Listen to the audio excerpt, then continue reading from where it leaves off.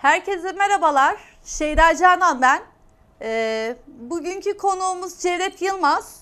Ee, geçen sene birincisi düzenlenen bu yılda 19-23 Ekim tarihlerinde gerçekleşecek olan ikinci Uluslararası Erzincan Kısa Film Festivalimiz başlıyor.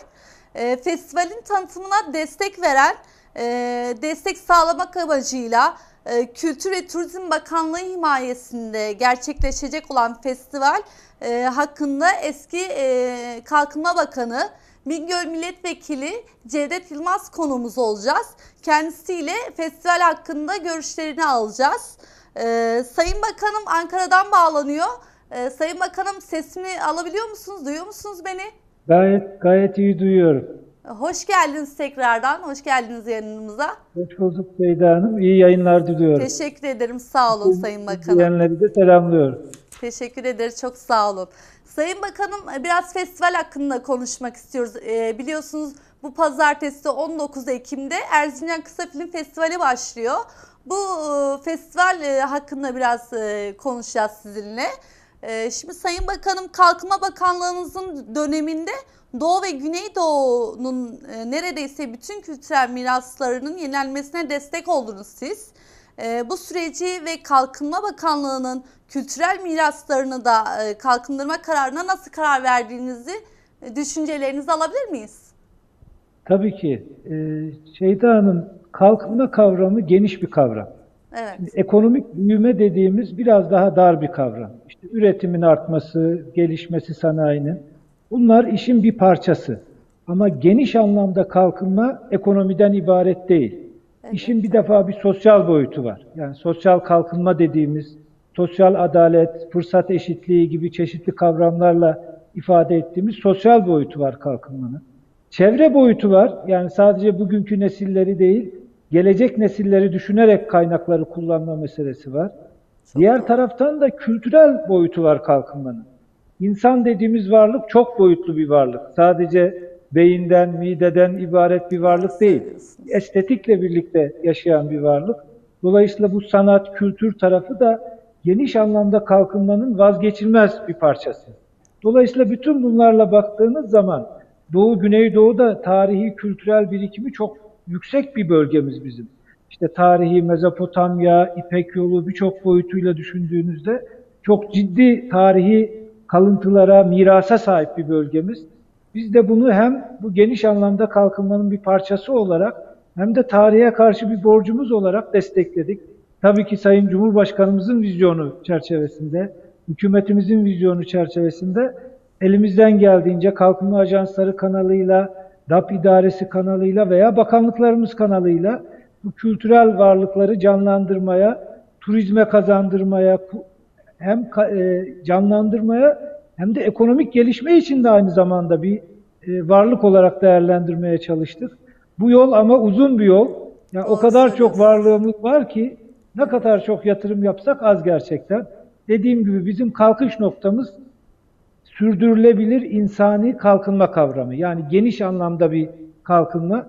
Bu çerçeveden bakınca da tarihi, kültürü, sanatı ihmal etmek mümkün değil.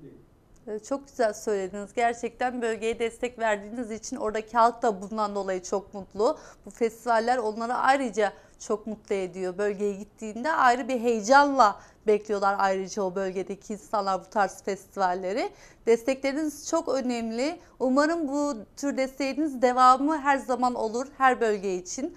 Doğu ve Güneydoğu bölgesi için. Kesinlikle. Bütün evet. bölgelerimizde ihtiyaç var bunlara. Aynen Şeyda öyle. Ama biliyorsunuz ki hani daha çok... Arz talep diye bir şey var. Ha, onu söyleyecektim. Evet. Evet. Ekonomide de arz talep dediğimiz bir şey var. Bir şeyin arzı ne kadar azsa değeri o kadar fazla oluyor. Yani doğuda, güneydoğuda bu tür faaliyetler az olduğu için Evet. halkta özellikle gençlikte karşılığı da çok yüksek oluyor gerçekten. İşte Gerçekten bu faaliyetlerin az olduğu bölgelerde biraz daha fazla desteğe ihtiyaç var. Ben Kültür ve Turizm Bakanlığımızı bu anlamda tebrik ediyorum, teşekkür ediyorum.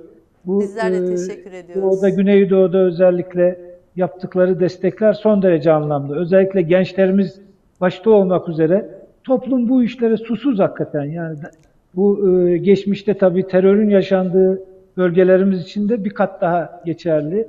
İnsanlar daha farklı bir ortam yaşamak istiyorlar. daha olumlu bir gündem içinde e, hayatlarını renklendirmek, çeşitlendirmek istiyorlar. Bu festivallerin buna gerçekten ciddi katkısı var. Hem faaliyetleri taşımak anlamında hem de aktörleri, sanattaki işte bir takım aktörleri, sanatçıları halkla birebir buluşturması bence çok güzel bir ortam oluşturuyor. Bunu e, çeşitli vesilelerle de gözlemledim.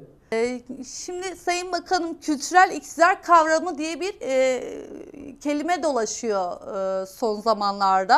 E, kültürel iktidar kavramı konusunda düşünceleriniz neler? E, bununla ilgili bir e, fikrinizi alabilir miyiz? Siz ne düşünüyorsunuz? Kültürel iktidar kavramı hakkında bir, bizi biraz daha detaylandırabilir misiniz? Bu, bu kavramı İçeriğini. duyunca ben e, biraz bu evet. Kültür alanı hakikaten aynı zamanda da bir mücadele alanı. Yani dünya ölçeğinde baktığınız zaman kültür emperyalizmi dediğimiz bir kavram var. Dünyanın belli bölgelerindeki kültürel değerlerin tüm dünyaya bir anlamda empoze edilmesi, işte bu çeşitlilik yerine tek tipleştirmeye doğru dünyanın götürülmesi. Ben biraz bundan e, doğrusu bahsetmek istiyorum.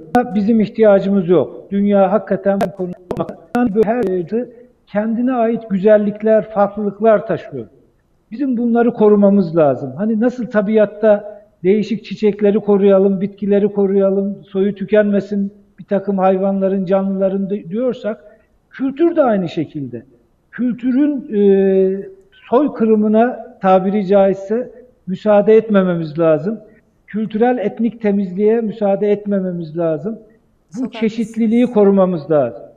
Bu çeşitlilik aslında bir çatışma sebebi olmamalı. Bir tanışma gere, e, gerekçesi, platformu, karşılıklı insanların, e, insanlığın birbirini zenginleştirme süreci olarak görülmeli. Çeşitliliği, bu farklılıkları zenginlik olarak görüp çatışma konusu olmaktan çıkardığımız anda aslında bu çeşitliliğin hepimiz için ne kadar anlamlı olduğunu göreceğiz. Ama maalesef dediğiniz gibi bir kültürel hegemonya, işte belli çevrelerde üretilmiş kültürel kodların herkese dayatıldığı bir dünya görüyoruz.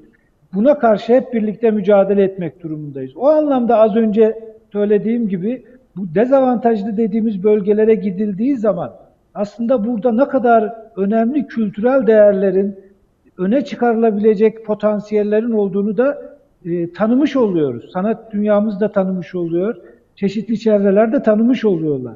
Bu anlamda bu yapılan yani bu yerele giden, dezavantajlı e, bölgelere, yörelere giden faaliyetler aynı zamanda bu kültürel hegemonyayı, işte bu kültür emperyalizmini de zayıflatmış oluyorlar. Bu yönüyle de ben bu çalışmaların çok değerli olduğunu düşünüyorum. Evet bu festival sayesinde bölgeye birçok yapımcı, yönetmen de gidiyor. Belki bölgeyi keşfetmeleri için de bir Aynen. avantaj oluyor. Belki oralarda da bir e, yeni bir sinema ya da dizi çekimleri başlayabilir. Umarım bunun Neden için olmasın? de e, etkili olur yani avantajlı bir e, festival bu e, anlamda. E, Doğru, çok doğru. Aynen. Yani bu e, özellikle dezavantajlı bölgelerde ben kullanılmamış bir potansiyelin biriktiğine inanıyorum. Yani uzun zamandır e, el değmemiş bir potansiyelin olduğuna hep inanırım doğrusu. Evet. Yeter ki onu görecek gözler olsun, değerlendirecek ekipler olsun, organizasyonlar olsun. Aynen, çok güzel söyledin Sayın Bakanım.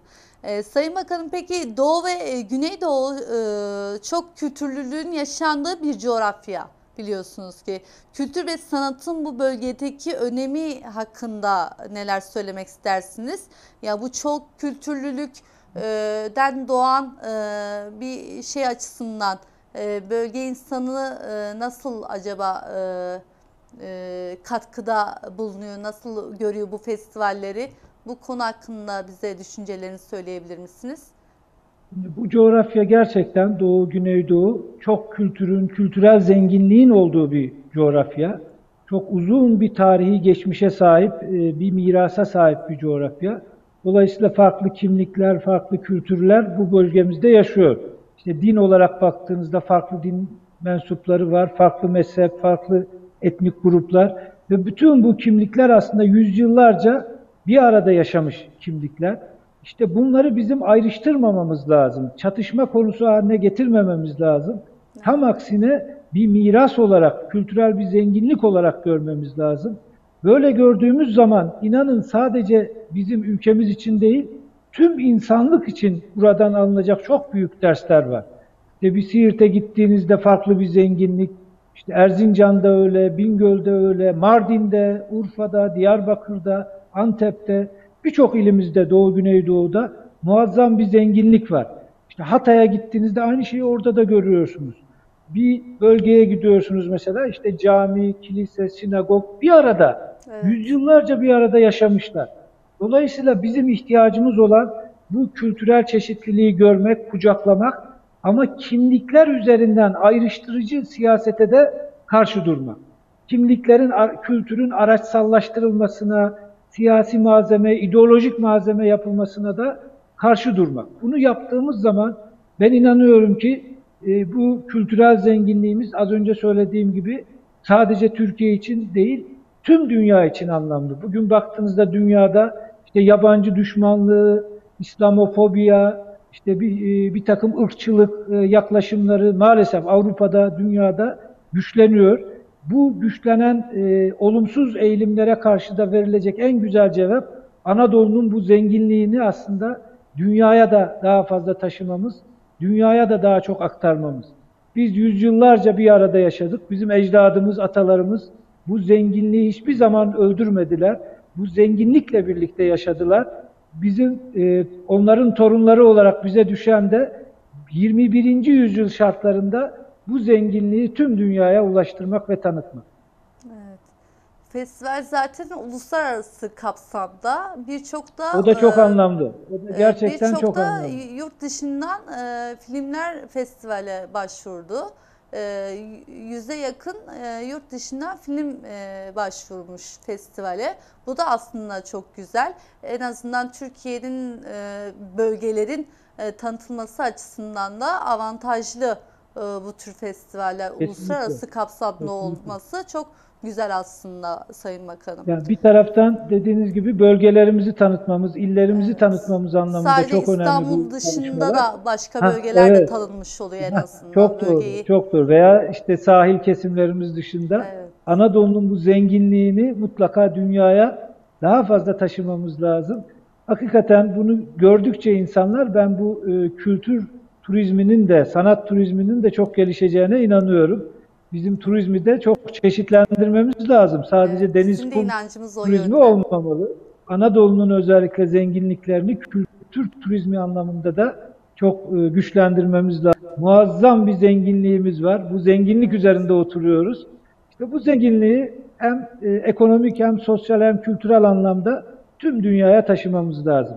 Bu anlamda Erzincan'ın uluslararası bir festival yapması çok anlamlı. Tabii ben müsaadenizle bütün bu e, filmlere başarılar diliyorum. Çok Derece alacakları şimdiden tebrik ediyorum. Ama derece alsın almasın hiç önemli değil.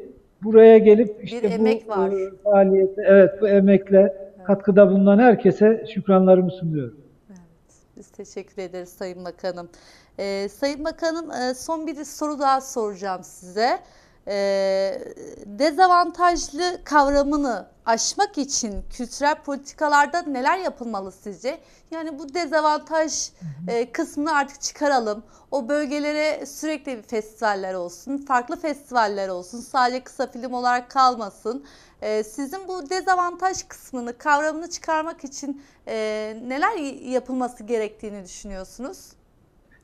Bu dezavantajlı dediğimiz e, bölgelerin çok boyutlu bu süreçleri aşması gerekiyor. Evet. Bir taraftan tabii ki kamu yatırımları önemli ama yeterli değil. Mutlaka özel sektör ve toplumla birlikte e, bu kavramların aşılması gerekiyor. Kamu bir anlamda teşvik edici, destekleyici bir rol üstlenmek durumunda elbette. Ama bu e, ila nihaye düşünülmemeli. Asıl olması gereken doğal süreçlerin güçlenmesi. Bu da az önce söylediğim gibi sanat dünyasının, e, bu kültür dünyamızın bu bölgelere daha çok ilgi göstermesi, gelmesi, gitmesi, diğer taraftan işte e, özel sektörün bu konulara daha fazla ilgi göstermesi Bütün bunlarla birlikte bir kamu, özel sektör, sivil toplum dayanışması içinde bunların aşılması gerekir. Yerelde de birliktelik önemli. Ben şunu gördüm, başarılı organizasyonlarda hep birliktelik e, e, kritik bir faktör. Erzincan'da da işte valiliğimiz, belediyemiz, üniversitemiz, sivil toplum kuruluşlarımız, kalkınma ajansımız hepsi katkıda bulunmasaydı herhalde bu başarılı organizasyon yapılamazdı. Evet, Bunu da daha sürdürülebilir hale getirmek gerekiyor. Sadece bir festival için değil, kültürel politikaların güçlendirilmesi, uygulanması anlamında dezavantajlı bölgelerimizde yerelde de daha güçlü bir dayanışmaya ihtiyaç olduğunu düşünüyorum. Yani bir taraftan özel sivil toplum, kamu dayanışması, diğer taraftan da yereldeki bu aktörlerin dayanışmasıyla bu kavramların ben zamanla silineceğini, daha e, bütün ülke satına dengeli yayılmış bir kültürel faaliyeti göreceğimize inanıyorum. Umarım hep birlikte umarım. Ee, Sayın Bakanım siz festivale katılacak mısınız? Kapanış programına en azından. Gitmeyi düşünüyor Eda Hanım musunuz? maalesef e, biraz e, durumum gereği, özel bir şartlarım gereği Evet, katılamayacağım. tabii. Çok isterdim gerçekten. yoğundur elbette. Özellikle Bingöl'de, diğer bölgelerde gençlerin o heyecanını çok gördüm ben, yaşadım. Evet. Gerçekten tekrar onlarla birlikte o heyecanı e, tatmak isterdim ama maalesef bu sefer olmayacak. Fakat ben buradan Erzincanlı e, kardeşlerime, özellikle gençlere selamlarımı iletmek istiyorum. Bu organizasyona katkıda bulunan herkese gerçekten yürekten şükranlarımı sunmak istiyorum. Valiliğimize, belediyemize, üniversitemize, STK'larımıza, ajansımıza, yani belki unutmuş olabilirim. Katkısı olan herkese gerçekten çok çok birçok teşekkür ediyorum. desteğiyle gerçekleşiyor evet bu festival. Bu işler gerçekten ekip işi. Evet. Hep birlikte başarılıyor. Çok teşekkür ederiz Sayın Bakanım. Ee, bize Ben e, görüşlerinizi aktardığınız için çok teşekkürler tekrardan yayınımıza Sağ katıldığınız için. Sizlere de Görüşmek kolay üzere gelsin diyorum. Sağ olun, teşekkürler. Sağ olun. Sağ olun. Ee, Evet, e, eski Kalkınma Bakanı Cevdet Yılmaz, e, Bingöl Milletvekili Cevdet Yılmaz yayınımıza konuk oldu. Kendisi festival hakkında bize görüşlerini bildirdi. E, Bugünkü konu e, konumuz buydu. Şimdilik bu kadar. Daha sonraki yayınlarda devam edecek. Görüşmek üzere.